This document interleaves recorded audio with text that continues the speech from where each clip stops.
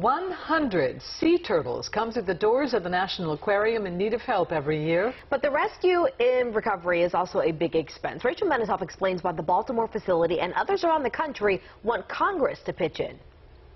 Behind the scenes at the National Aquarium, So vitamin for him? Kate Schaefer works directly with its sea turtles, like this guy, Pecorino, who has brain injuries consistent with a boat strike. There's a lot of different factors that they're facing out there in the natural environment. Every year, the National Aquarium spends about $600,000 rescuing and rehabbing this endangered population, which faces a whole host of challenges in its natural environment. Many of them happen to be man-made. So we feel that anything that we can do to help those populations recover um, is contributing to species conservation for these animals. But it's not getting any federal dollars to do this. Instead, it taps into ticket sales and other operating costs.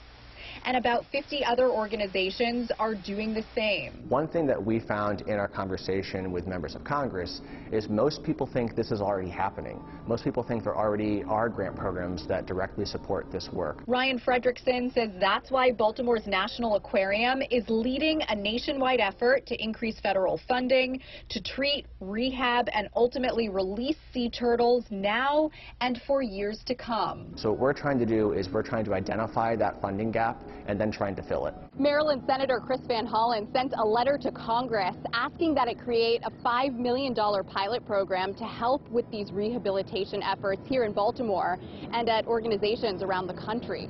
At the National Aquarium, I'm Rachel Menitoff for WJZ.